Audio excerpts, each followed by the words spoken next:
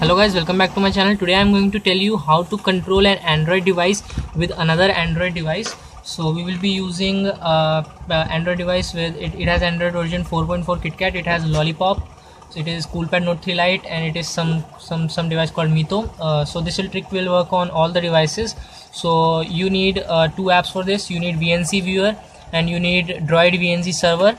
The link of both the apps will be in the description. You can download both the apps from the links after that you need root access and you also need uh, both the devices on the same Wi-Fi network. You can see uh, both the devices are connected to same Wi-Fi network. You can see link network and link network here also. So both the devices are connected to same uh, network. The device which you want to hack or you want to see what is going on in, on that device or you want to use that device you have to install droid vnc server on that uh, device so i will be hacking this device or i will be using this device by this device. So i will be showing you what app you want in this device. Uh, it is droid vnc server. So let me just find it. So guys here it is droid vnc server. So you have to download this app install this and uh, it will look like this. You can see a green circle droid vnc server so okay. And then uh, the phone by which you want to hack that or by you which you want to use that you have to install vnc viewer in that device. I will show you. Uh, it is this vnc viewer. You can see. Uh, just wait a minute. Uh, it is vnc vnc viewer. So okay let's start. First of all you have to open droid vnc server on this device after that it will show you welcome to droid vnc server click on ok. After that it will uh, just say you uh, stop or running. It is running so first we will stop it. Okay so it is stopped right now. So let's start it. Click on start. After that it will ask you for root access. I have already given it root access so it has started on its own. So you will have to give the root access first. After starting this you have to go to your other mobile phone and you have to go open vnc viewer. There you have to click on this green plus sign and you have to make a new connection you can see uh, on this device uh, here uh, click on start wait a second. Uh, you can see it, it is giving us a IP called connect to 192.168.0.101.5 uh, so we have to enter that IP here 192.168 mm, wait a second. Dot zero dot one dot zero dot one zero one dot five nine zero one. So you can see I have I think I have done it correctly. There is a colon here. So just remove this dot. Okay.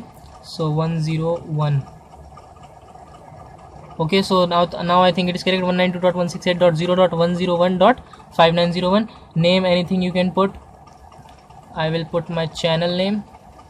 Now click on create now uh, you can see that uh, it is a picture quality it will show you picture quality high automatic low uh, only turn on the observe but not control this computer. If you turn on this you will only see what he is doing on the device but you will not be able to control that device. So i will be also controlling the device so i will not turn it on. After that forget sensitive data. So um, uh, if you it has any for sensitive data you can also forget it. I will not click on it. So now click on connect after that it will give you uh, it will just connect it. Now uh, unencrypted connection. I have not set up any password so it will show an encrypted connection. Still i will click ok. After you can see it is connecting. Now you can see control the computer. So now it is saying that this is the first time. It is saying that this is the first time. So it will like to show some gestures. I will click next. I will show the gestures. I will tell you how to control the device. So now you will see that uh, there are some gestures given uh, in this uh, you can see that this first is pinch. Uh, pinch with two fingers to zoom. If we just pinch with two fingers like this it will zoom. Then touch with one finger drag the position to the mouse cursor. If we touch with one finger and drag uh, touch with one and drag to position and we will just drag the position to the mouse cursor then we can move the mouse cursor. Tap with one finger to left click. If we tap with one finger it will uh, take a left click. If we double tap the one with one finger it will take a double click uh, like a pc so tap with two, fingers to right click. Tap with three fingers to middle click. Tap with two fingers draw and then we have just uh, that keyboard tap uh, there will be a keyboard sign there to open the virtual keyboard. So then there will be also a mouse sign to for a mouse. So guys let's start. I will just open this device for you. Now you can see on the screen now I'll cancel it. Now you can see that the screen of the device has come here. Now you can see. Now you can see when I'm taking it down. Oh now you can see. Uh, if I use this device then you can see it is coming there. It is coming on this device. If I use this device you can see. See that? Do you see that? You see? Okay now if I want to use it with this also I can use it. If I click on the mouse sign I've got the mouse. Swipe left for more keys and you can see F9 there are many keys right here. Then we have the keyboard here. If we uh, just type anything on the keyboard also we can do that we click on the mouse then we will get a mouse. You can see the mouse is here. After that uh, we will open any app. You can see. So if we want to open es file explorer you can see. I have done it. So you can see. If i'm using anything on this this is showing on this device so guys thank you for watching the video. I hope you like the video. Click the like and subscribe button for more videos like this.